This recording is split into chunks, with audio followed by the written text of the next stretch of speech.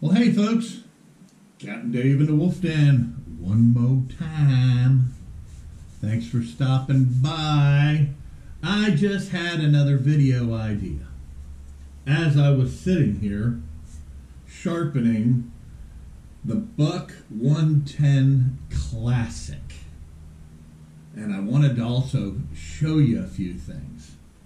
Eh, so, I mean, this is just an idea off the top of my head. All right. Of course, this thing was sharp from the factory. But I went ahead and on my wicked edge, I ran the 3000 grit stone and found through doing the Sharpie marker on it, I found that this buck, which was a little shocking to me, I mean, not shocking, but I was thinking it was something different. I matched the bevel by putting the marker on it. Uh, basically, looks like both sides were perfectly, perfectly, or damn close, let's put it that way, to 22 degrees on each side. I guess that's okay. I mean, you know, I figured 20. I started out checking it at 20 degrees, and uh, it it came up really nice here. I mean, when you can run your your uh, your stones down the blade, and you don't even feel any resistance, you're pretty much done. So I just wanted to, after the debacle of trying to sharpen around that thumb stud on that Buck 110 Sport and a little review I did of it. I mean that knife is not bad. There's nothing wrong with it. It's it's half the the weight of one of these practically you know, and it has the upgraded steel and all. But at the same time, I'm not a real steel, you know, snob. But I wanted to show you. I mean, this is the buck a buck 110, and you know, I never really had one. Never had a buck 110 classic. But around Christmas time, Oralwalk, which if you're a subscriber and a frequent viewer of this channel, you know that he is a huge supporter of the channel. Well, he literally sent me this, this buck, because I guess through talking to him, he knew I never had a classic. I never had a classic buck. And this customized which it's like through the roof. Customized leather sheath. I mean, it's almost too nice to to take it outside, you know. So it's got my initials, and then look, it says Jetty Wolf, like my symbol, 1996, because that's when CaptainDaves.com got started. Now, it doesn't say it just says Captain Dave. It doesn't say CaptainDaves.com. But 1996, Jetty Wolf. And there's my wolf howling at the moon little symbol.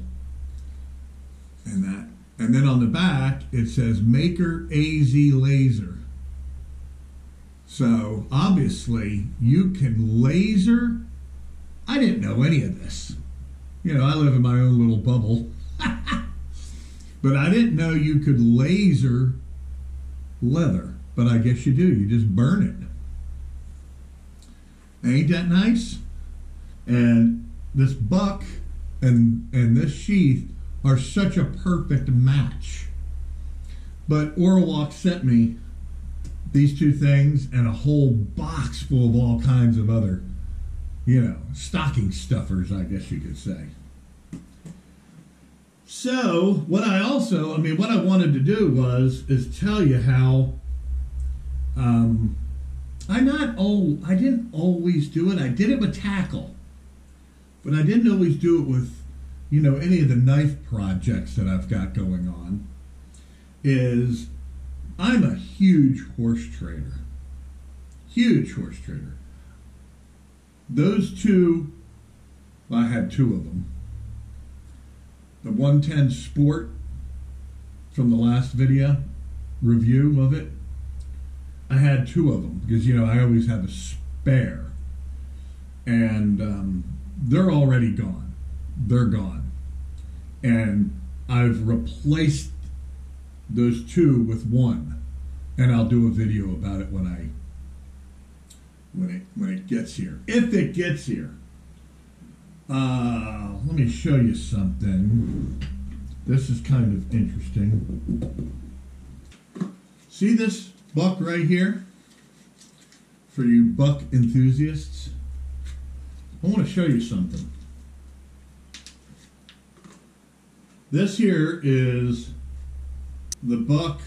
This I did a video of, and I showed this.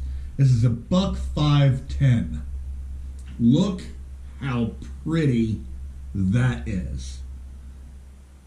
With that scroll work and the uh, mirror pol- polished blade.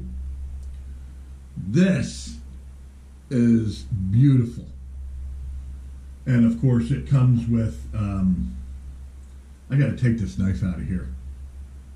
It's, it's it's kind of in the way, and it comes with this classic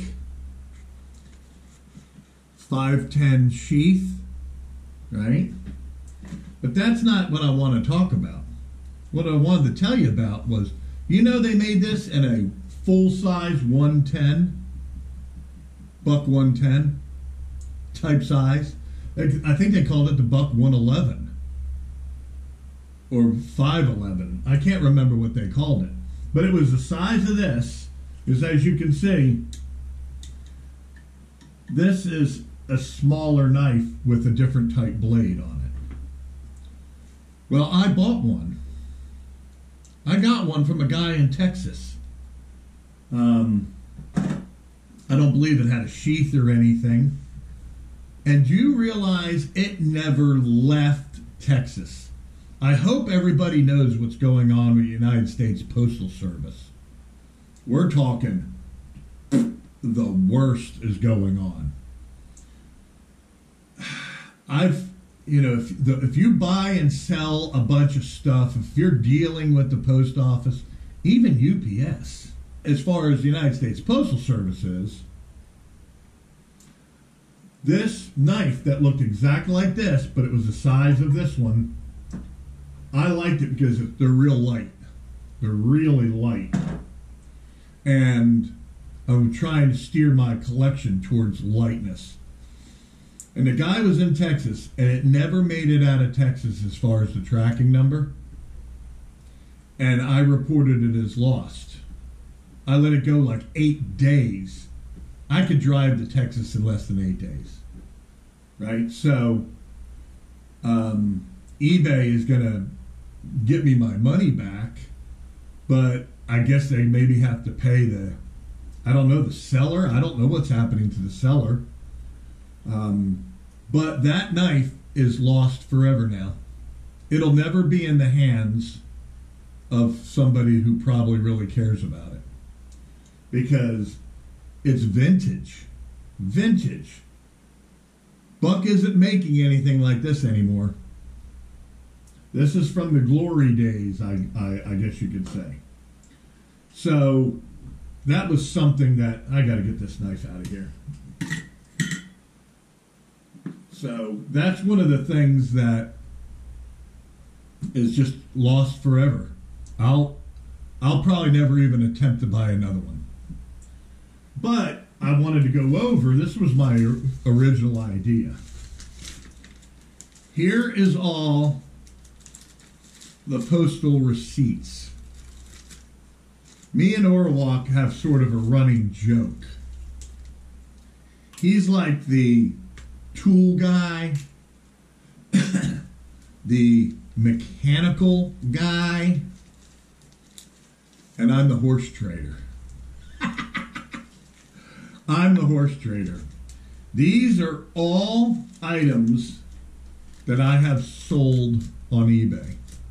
And I mean, I'm sure there's some of these things that you guys could have gotten in on. Because, see, I was giving people first dibs. And I put it on YouTube on my community page. When I was going to sell something that, if you're a sportsman or whatever, you know, this isn't just, this isn't fishing tackle. Some of it's fishing tackle. Some of it's old, believe it or not, old um, I got a whole bunch in here that were AFTCO shorts that my dad uh, had, which you know he didn't he didn't tear them. He didn't he didn't wear them enough for them to get wore out that I sold. But these are knives. I mean, going back. Let's see, a Buck Light, Buck Legacy, Marttiini a Bubba Blade, the Bubba Blade that I sent to Shore Vapor, and he's always going to be Shore Vapor to me. Let's see, bait casting reels, a Buck Squire, a CRT, CRKT Surf and Turf fillet knife, uh, a Honda outboard manual, Olight flashlights, uh, lures, uh, jigs a GoPro Hero 3 Plus, a Cold Steel AK 47. All this going all the way back to March of 2021 when I sold the first Daiwa Saltist. I gave you guys all the heads up in the world when I have deals. And I mean, I'm usually offering deals because I want it gone okay? Because I'm already purchasing something else. And I used to use, I used to post it on my community page. But I quickly found out, you know, on the community page, it's like a forum. You put something on there, and then every asswipe in the world can get on there and give you grief. So I'm not even doing anything on the community page anymore. Um, that's where you would see it when you're looking on YouTube on your phone or whatever. But I got so much grief. They said, oh, you know, this community section of YouTube isn't supposed to be for your garage sale. Well, it's my YouTube channel and I can do any damn thing I feel like it. But I got tired of the grief. But that's how much horse trading I've done in one year. That's all USPS receipts for sending out packages. That's a lot of horse trading. Between tackle and knives and things like that, I'm rocking and rolling.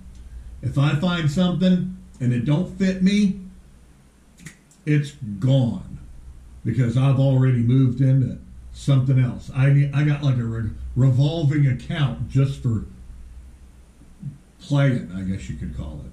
As a matter of fact, that right there in the box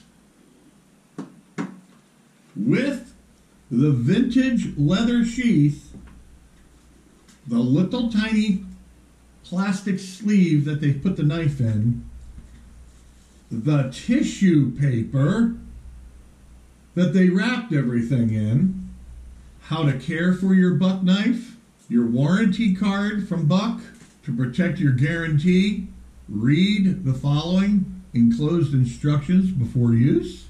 Last but not least, a word from the president of Buck Knives, Al Buck.